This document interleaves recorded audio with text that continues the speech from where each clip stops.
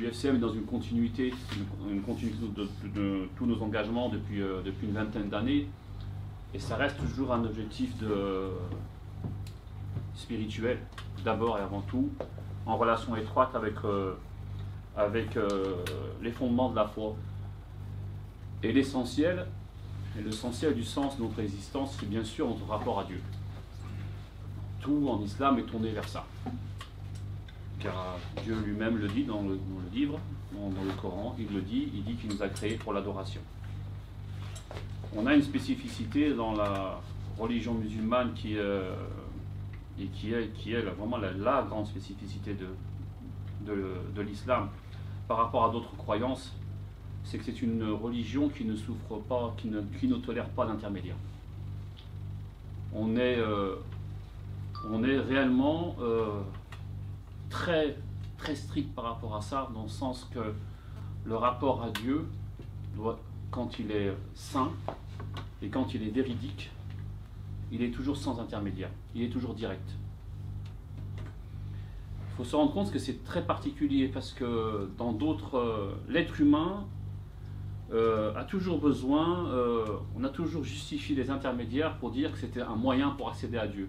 Vous savez, le polythéisme, souvent, c'est pas un polythéisme euh, qui, s'annonce comme étant polythéiste. Souvent, le polythéisme, quand on, a d'autres dieux, on dit souvent que c'est des dieux pour accéder aux dieux, aux grands dieux. Tu vois Les Arabes de la Mecque, c'est ce qu'ils disaient. Ils avaient plein de statues, et euh, de chaque tribu avait sa propre statue, son propre dieu. Hein, et c'était pour accéder à Allah, parce qu'ils disaient eux-mêmes Allah à l'époque. Et c'est pareil quand vous allez chez les chrétiens, ils ont plein d'icônes les icônes, c'est très important dans la, dans, la, dans la, religion chrétienne. Et c'est une manière d'avoir une proximité avec Dieu. En islam, il n'y a pas ça. Il a pas de, on n'utilise pas euh, des moyens, ce soit euh, dans le catholicisme, vous avez carrément l'Église. L'Église est l'intermédiaire qui permet d'accéder à Dieu, une institution carrément. Et etc. Et dans, dans, toutes les religions, vous avez souvent ça. Et l'islam fait, fait en sorte qu'il n'y ait pas d'intermédiaire, parce que euh, qui dit intermédiaire dit, euh, euh, dénaturation. Hein, c'est quand vous n'avez pas accès directement à la chose, il vous faut, une personne ou une chose pour accéder à Dieu, ça vous dénature la réalité de Dieu. Et Dieu est toujours en relation. Alors on se dit, ouais, mais alors, si l'homme a, besoin toujours de quelque chose pour accéder à Dieu, comment faire quand il n'y a pas d'intermédiaire? Eh bien Dieu, dans, la, manière dont il nous a créés, il a mis en nous les moyens d'accéder à Dieu sans qu'on ait besoin de quoi que ce soit. Et le premier des moyens qu'il a mis, c'est que quand il a créé l'homme, le souffle de Dieu est déjà en nous. Ça veut dire accéder à Dieu, c'est d'abord aller vers soi. Ça, c'est très important parce que c'est une, la foi, elle ne se, se, délivre pas, elle se révèle. On ne vient pas donner la foi à une personne. On vient révéler ce qui existe déjà dans ton cœur. Mais ça, ça implique un corps équilibré ça implique un corps qui est, qui est émancipé. Dans ce sens, ça veut dire qu'il faut l'épurer de toutes les fausses croyances. Parce que la foi, elle peut être dissimulée, elle peut être enfouie, enfouie à travers d'autres, et à travers ses propres passions. Parce que le corps, il n'y a pas que le, il a pas que la foi, il n'y a pas que le, que l'appel au bien, l'appel au juste, l'appel au beau, l'appel à Dieu. Il y a aussi l'appel à ses passions, à son ego. Donc il y a un autre, un autre moyen qui est venu, qui existe depuis la création de l'homme sur terre, qui est toute la chaîne prophétique. C'est ce qu'on appelle la révélation. Et les derniers livres, et la, dernière révélation du prophète Mohammed, qui est la révélation coranique. La révélation est un deuxième moyen d'accéder à Dieu, le livre. Et ce moyen-là, d'ailleurs le livre, on l'appelle le, le livre du discernement, il nous permet de discerner justement dans notre corps ce qui fait, appel ce qui fait partie de l'appel à Dieu, ce qu'on appelle la fitala, la prime nature, hein, ce, qui est, ce qui est beau, ce qui est bien, ce qui est juste, et ce qui fait partie de nos passions. Hein, le, livre, le livre de Dieu nous permet de faire le discernement. C'est pour ça que le livre de Dieu, est incontournable. Le corps ne suffit pas. Mais le livre, donc l'accès au livre de Dieu, qui représente pour nous la norme, qui représente pour nous la référence, il est primordial pour, accéder à Dieu. Et le troisième, troisième élément, euh, c'est le monde. Parce que le livre de Dieu, c'est la parole de Dieu. Mais la parole de Dieu, ce n'est pas ta compréhension de la parole de Dieu. Ta compréhension, elle est humaine.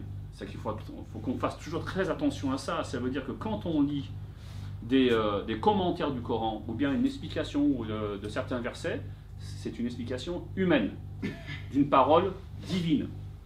Et nous, on est toujours en train de nous... on, quand on s'approche du Coran, on veut toujours s'approcher au, plus profond du sens, c'est-à-dire ce que Dieu a voulu dire.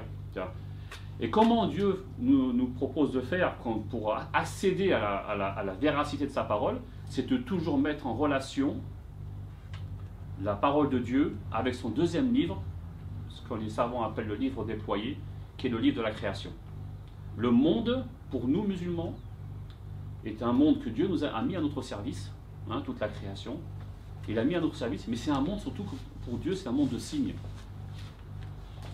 Même notre propre corps, même nos propres enfants, la nature, etc. Tout ça, c'est des signes de Dieu. Et Dieu met à disposition ce monde-là. Il nous dit toujours dans le Coran, il nous dit observez, réfléchissez, regardez. Et regardez dans, les, étoiles, le ciel, votre propre, votre propre cœur, euh, la terre, les, animaux que je mets à, votre disposition, etc. Regardez tout ça, ce sont des signes qui font, qui font référence à moi, qui font référence à Dieu. Donc la compréhension du livre, elle, ne peut pas être, elle ne peut pas se faire sans la compréhension du contexte dans lequel on, vit. Si elle se coupe du contexte, si elle se coupe du contexte, eh ben on, a, on, a, on aboutit à ce qu'on appelle à une compréhension littérale, une compréhension étroite, mais c'est quoi une compréhension littérale et étroite? C'est quand à un moment, je dis que la parole de Dieu, c'est ma compréhension de la parole de Dieu. Ou bien c'est la seule compréhension. On arrive à un moment où on s'approprie la parole de Dieu. Et ça, ça devient, après, ça devient, ça devient du littéralisme.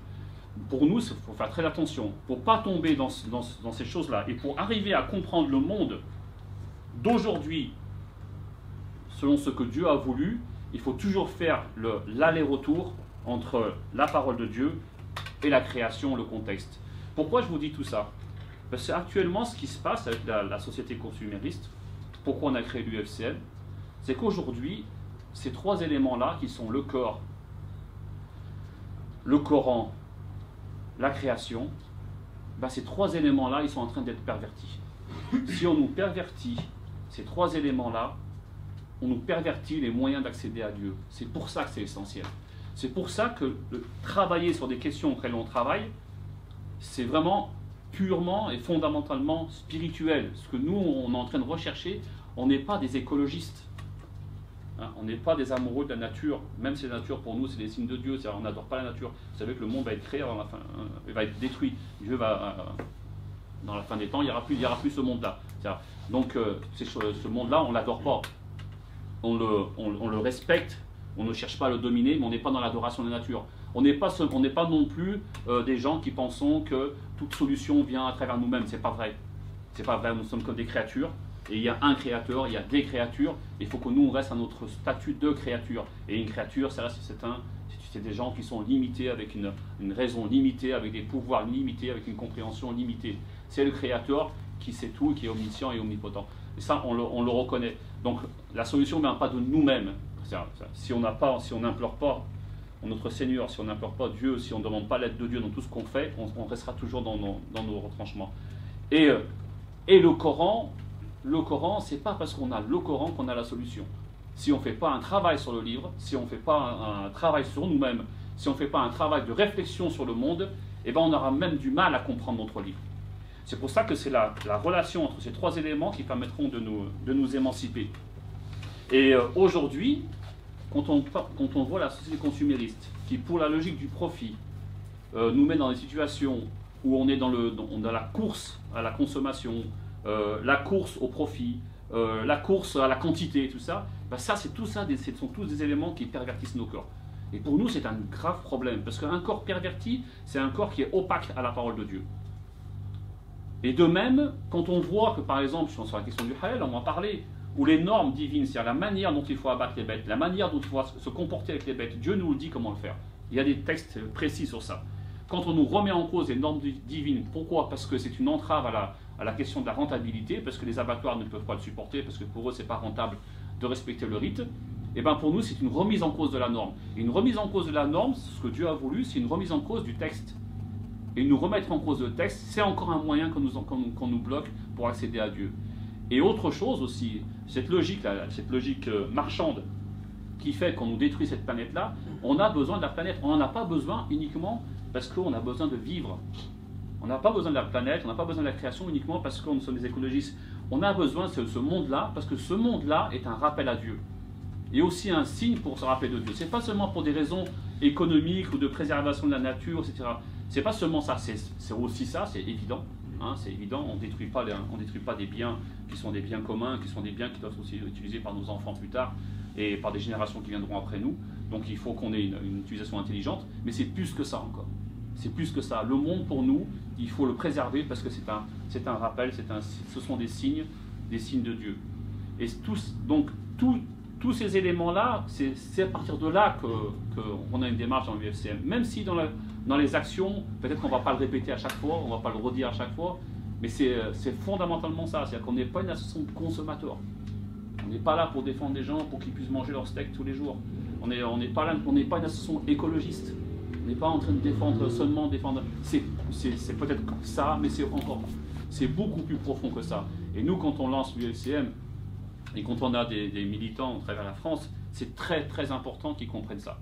Parce que après, souvent, ça, va, ça aura des conséquences très concrètes et très pratiques dans nos choix qu'on va faire dans, dans l'avenir.